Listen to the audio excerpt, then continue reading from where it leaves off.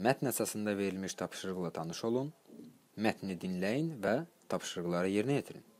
Dinləmə mətni.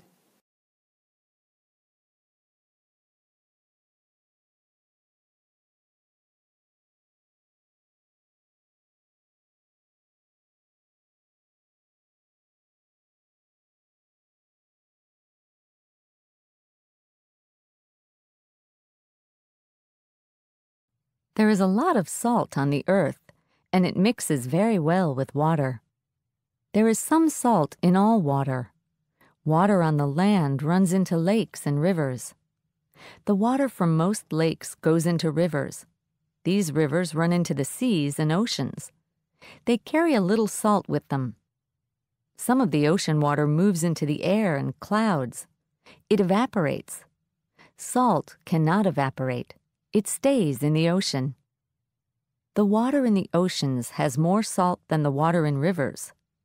Ocean water is about 3.5% salt. Some seas have more salt than others. Some lakes do not have a river to carry the water and salt away. Some of the water evaporates, but the salt cannot.